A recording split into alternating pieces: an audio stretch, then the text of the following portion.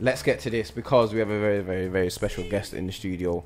Uh, she's come to us to speak about women empowerment and, of course, her clothing line. So, a big shout out to Nadine. Choose up on me there. Yeah, so Nadine, uh, you are the owner of Neish Clothing. Yep. Yeah, so tell us a little bit about that. Um, Neish Clothing is a startup brand. Uh, been going two years, and I really wanted to do something different, not just make clothes and have a clothing brand. I wanted to stand for something. I wanted women to feel like they're representing something when they wear it. Um, and that's come down to it's taken a long time and now I've just come out with a new collection um, Very and a new design It's which amazing. Myri's wearing woohoo looking the fire nice, I put it on and I literally nothing has stopped me tonight. I've had loads of things thrown at me and I came in here and I was like, Roesh, I'm sorry for bringing the whole Zen down, but I'm here and I'm ready. And it, I feel like She- it has made me feel She more said that you uh, inspired her to come to the show today and carry on with the day. Oh, that's Genuinely nice. did. You look Genuinely. amazing, girl. Thank you, down to you anyway. Thank you. So yeah, that's Yeah. that's what the brand's about. Um, and you know, it's all the, the the new design is all all explained on my on the Instagram and on the website. Okay, you want to mention the On this Instagram as well. Is it this pattern or was it the other pattern? Yeah, yeah, yeah. This with the with the Gonna- key and yeah. the yeah. So there's like a crown on the pattern, which is like um, for all queens. There's a key, uh, which is like the key to life, or you know the ability to shut, uh, close, and open new doors. The rose, uh, the rose that grew from the concrete, because Nice. you know we're from a, a council estate, Yeah. and you know we're all trying to make it out here. So Concrete the, jungle. The rose, yeah, the rose that grew from the concrete, um, and then the animal uh, print is like the the fierceness of woman, you know, and that animal instinct, intuition, ladies, which is never wrong. Ooh, Wow. Very true. You heard it here first, man. Nadine just explained the whole reason and the whole Of this this, pattern. yeah, of that pattern. Do you know what? I'm Very so nice, glad that. we have Yeah. Nadine here today because normally I've got Sam shouting sexist comments to me about know. you're a woman, shut up, and, and I finally got someone on my side Finally. speaking Hey. for what's innit? right. I love it. so Nadine, tell me about um, the name niche. Where's where's that come from? Because within itself, that sounds unique. Yes. So- So, niche, as you know, is one is means one of a Yeah, it kind, does. um, and I've spelled it in a way which is spelled one of a kind as Yeah, well yeah. of the meaning, and it's also my daughter's name, Nisha. Oh, that's beautiful. Mm, nice, nice. Yeah. No way. So it's really sentimental as well. Yeah. Yeah. So Maya, I'm sure you've got a, a few questions to ask Nadine as well. Well, since you just mentioned your daughter, Yeah, since go you're on. talking about women empowerment, it's something that comes up at home with me. Yeah. Princesses, so when she was growing up, obviously every single Dis- Disney princess is saved by a man. Like it's a common thing in the world. Like Yeah. Mm. women need a man, and it's just how did you get around that barrier with your daughter, like teaching her that it's that she can be powerful and it's the man doesn't have to save her and like not to follow a fairy tale because it's not true. If you know what I Um, mean. Yeah, I don't. Yeah, hundred 'Cause percent. My daughter's obsessed with princesses. That's everything, every day, and yeah, it's taken. I think there's I think there's a fine balance. I think that um, being a single mum for so long, you be, you you become so strong and so powerful um, that you know there's a fine balance between then talking about women empowerment, but then taking a man's role, which I don't think we should do. So I think that nowadays it's it's a balance of you can be a powerful woman, you know, you can do everything and you can look after yourself, you can pay your own bills, you can be independent. You don't need a man, but you we don't, also don't want to be taking away that man's role, which I think sometimes, you know, still be feminine, still be classy, still be elegant and be be proud to be woman, you know? Mm. That is. You know what? I'm pretty blown away. You know? Do you know what I mean? It's, she's so inspiring. Everything she says. It's all linked into her brand as well. That's really why we wanted to speak to you Yeah, today as well, just course. to spread it because yeah, it's beautiful. I think we should go to uh, one of uh, Nadine's tunes. Um, it's a DeJ Loaf tune. It's Hey There. you wanted that tune, didn't you? Yeah, DeJ Loaf is De- DeJ Loaf. For the last six years, it's been me and DeJ Loaf on the road. you know, keeping me powerful, keeping me, keeping my thoughts right. So one of your one of your favorite artists, then? Yeah. Yeah. Okay. Why why, why do you like this tune? Because it, it's Um, got actually, feature in there as well, isn't it? actually, actually, um, yeah. Um, hey there is just a cool track. Yeah. Um, and I love a vibe. Um, but the my, one of my best tracks from DeJ Loaf is Desire. Right. But, but this still isn't one of my tunes. Right. Okay. Well, we'll we'll play this for you then. Yeah. You're locked into the Ratio Show. This is Pie Radio. Myself, DJ Roesh. My Isabel. And of course, our special guest Nadine from Neish Clothing. So I feel like we need to go back a little bit. Go on. What inspired you to start a clothing brand in the first place? Oh. Sorry, not a bit out the Um, blue. Do you know what? Actually, when I moved back from Dubai two years ago, I had this all-in-one, and I wore it everywhere. And you know, do the food shopping, go to the gym, everywhere. And when I tried to get another one, I couldn't. So uh, I thought, you know what? I'm going to make one, and that's how it started. And it, and then it started being the, it's like the all-in-one woman. Yeah. You know, so you can wear it to do the food shopping, or you can. So I'm, I'm started making all-in-ones. when I love look it. back now and think how terribly they were made, um, you know. But that's how it started, and all I did was all in ones in the beginning, um, and obviously now my collection's like grown. Yeah. But yeah, that's how it started. no way. That's pretty interesting. Hmm. So talk about Dubai. And do you know what? To be honest, I had a question for you that I always kind of have like an issue with. So I have to talk to the boys about this. I'm on a show with two lads, and obviously I talk to a lot of grime artists and a lot of other normal artists in the scene. And there's always a weird thing of business and pleasure that gets mixed up, and I feel like that is an issue for me. Like I find it hard to say to people like this is I'm talking to you because I want music. People mm. seem to be like, oh, do you want to meet up? And I'm like, no, No. I'm asking you for music, and it's Oh, a bit yeah. like it gets really annoying because it's kind of then people don't want to speak to me because I don't want to talk in a certain way. And do you ever has that ever happened to you, or do you ever find that? Or That's how how what that's kind of advice do you have for me? like, yeah, for that yeah, no, that, well? that, that, that is that is a massive, massive thing, um, especially about women empowerment when it comes to business. Especially people think, you know, oh, you know, if you're pretty or you look good or whatever, then you know you, you've got one up. But it's actually the opposite because um, half of the time you only get that first meeting, or you know, people are only interested because really how you look. They just make they've got other alternatives in their mind. Yeah. So then when you get to a meeting, you have to show prove that you actually know what you're talking about and you're here for business and then that can go one or two ways. They're actually not interested in your business. They're only interested in getting into you for example. So Yeah. so you you lose the business. Or you know in in in good cases when you're dealing with good men you know they, they'll see you serious and you're about business and and you know hopefully um, you know that'll work out but that's a it's a major challenge been a major challenge for years and years and years So being in Dubai, was it? Were you, did you find it any different there to being in England? Like how people treat you in business world, or is it? Is it? How is it working with people in Dubai? abs- absolutely, and that's where the clothing comes into it because um, the minute you put on um, an abaya um, or you're covered, or you know, they've they take you more seriously. There's a, there's a level of respect straight away when you walk into a room, Yeah. rather than if I was dressed as a Westerner over there, you know, low cut top, maybe tight skirt or whatever. Yeah. Straight away, that changes the mindset or changes the vibe of the you know the meeting or, or whatever it is. Yeah. So I think it's strong and powerful to, you know, wear class, wear elegance, you know. I think that's a good thing. Not saying that you can't dress, Yeah. you know, in that way if you want to, but I just think that it's your approach is really important. Yeah. So where do you see your brand going in the next year? So where do you want to push it to? Um, I really, I've got big dreams, and I think that we should all have big dreams. Yeah. Um, I think that I've got something special I, with my brand. I, I and we've got some, we've got some good things coming up in 2019. I feel the message is really strong that you have, like that you try and like show in- within your clothing and all the positive thinking, everything about it. It's just, I don't know, it's, Thank you. I think that um, there's a lot of brands out there that are, you know, up and coming and brands that are doing really, really well. Um, but a lot of them, they don't pick the material, uh, you know, draw the draw it and, and do it from the beginning. Um, pick the fabrics and it. For me, for me, it. I want to know why am I wearing that brand? Like, what's the story of the person? You know, where does the brand come from? And I think that um, it's coming back to that, mm. and that's what I'd like to bring back. Just with that piece that Mai's wear- wearing there, you can tell it's took a lot of hard work and time and detailing to get what you've got. Do you know what I mean? Because the meaning behind each yeah, element. yeah, because even though from afar it looks a lot, but when you get close, it's like you, you, you see you see it. Do you know what I mean? And different it's the different yeah. bits, and it's nice. Um, because some people say a lot of the time less is more, but that's it's a really nice design. If there could be, you. if there was anybody in the world, dead or alive, that could wear one of your pieces, who would it be? Yeah, that's a good question. Though. I like that one. Um, alive, Jennifer Lopez. Ooh, I feel Um, like in that. Oh, the soup. Sorry. and, um, dead Whitney Houston.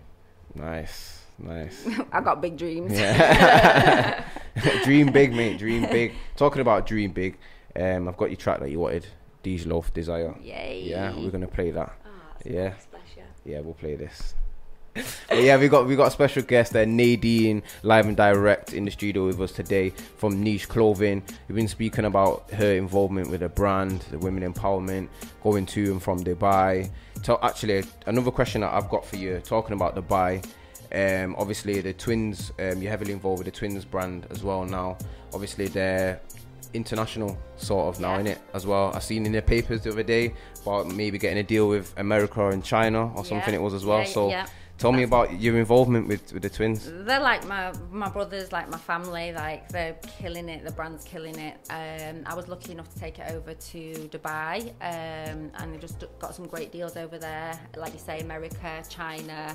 Um, they're already in loads of stores in the UK, um, and that's a that's a male that's a, you know that's a male-owned brand, and it took me 36 years to find a team Yeah. that you know that you real feel like it's a team and you know there's you can still be all woman you know i can do what you know do what i want to do and they they support it and you know it's it, it's a great it's a great vibe it's a great team to be involved in and i'm you know i feel lucky Yeah, Maya was looking at me lines like she, she can say the Yeah, same thing in it. bro.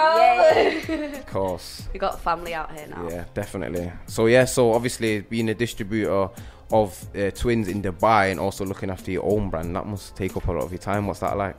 yeah that's How do you juggle from home life to personal life That- to mother life to business yeah. life? How how do you manage to juggle? Do you just you know what I just pray yeah I just pray and it just works out. Um, and I think that when you you don't need to when you stop trying to chase things and you just let things roll, you know. And obviously, I've had a lot of years of experience of business and loads and loads of experience, and it's a constant challenge to be honest. Finding balance is is the biggest thing, and it's super important as well. Mm. It's like my brain waves. It's everything Yeah, I'm innit? thinking, and Thinking. feeling. I'm like, oh my god. Nadine's the same for you. It's constant though, babe. Honest, you got to keep, you know, you just got to keep learning and keep finding ways um, to to balance your life. Especially being a mum, you'll know having Yeah. having. Um, but that's the most important thing.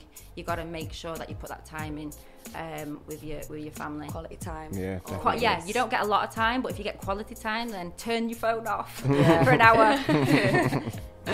You know about that, don't you? Don't you, Roesh? Yes, you know what? You're not gonna lie. Sometimes I just do it because I just have to, innit? off Because all the time. because It's a good, it's a good li- place to be. literally, yeah. If I don't turn off my phone, I'm either gonna get distracted or I'm gonna be on it, just on it. So well, it's, group chat, sometimes it's chat not. pops without you. I'm not gonna lie. We're like, bet Roesh it sa- the silent guy, silent boss. We call you all sorts of names. They're just going, not going through. Just one tick. Sorry. Yeah, man. Pho- phones are a big thing, man. I'm not gonna lie. Sometimes I could sit on my phone and time would just fly by, and that's just that's just probably even down to answering emails, talking to you guys in the group, organizing the show. Even that itself, we could be on our phones for just a couple of hours just chatting Yeah. alone. So you know, it can take up a lot of your time. So you're right, man. So even with social media, even the way you portray your brand on social media, it's empowering just to see everything. Like you can go on other brands, and the models look a certain way, and Mm. it makes you feel a certain way. I feel like it's different when you look at your go through your Instagram page. Yeah. You don't feel like you're jealous or like that. Yeah. I don't look like that, or Yeah. I don't fit in here, or I can't wear that. Yeah. Yeah. And you know what? It's, it's all done with love. Like, I've chose my team well. Like, it's all done with love. Like, there's a lot of people out there that say, you know, the spiritual, it's about women empowerment, but deep down the hating, deep down the mm. bitter, like, they're still no not got there yet. still not got there yet, you know? And you've got to genuinely feel like I'm, I'm older, you know, so there's a lot of younger girls out there that I see doing well, and it's like, go on, girl, you know, mm. everybody can win, everybody can win, you know, just by complimenting somebody else or supporting another woman doesn't mean that that's going to take the light off you or you're not going to win. There's, there's enough for everybody. That's true. So true. Talk, talking about your team as well, um, I noticed that uh, one of your friends over from um, Cheshire Housewives uh, started to support your brand as well. So Oh, Perla. yeah, yeah, Perla, that's it. Yeah. So tell me a bit about that. How did how did that come about? How did you? Perla's a, a real Colombian chick, you know. She's just brought the real, I think, um, to Cheshire. Um, um, how do I feel about Cheshire? Yeah, yeah. I How live do in you? Cheshire. I know. I, I like. To, well, you to me, I'm not gonna lie. I've, I've watched the episode uh, of it a couple of times, and I think some. It's a bit like um, Essex, like you know, the girls like kicking off and that in it. So It's, is it staged? though? I'm pretty sure it's scripted.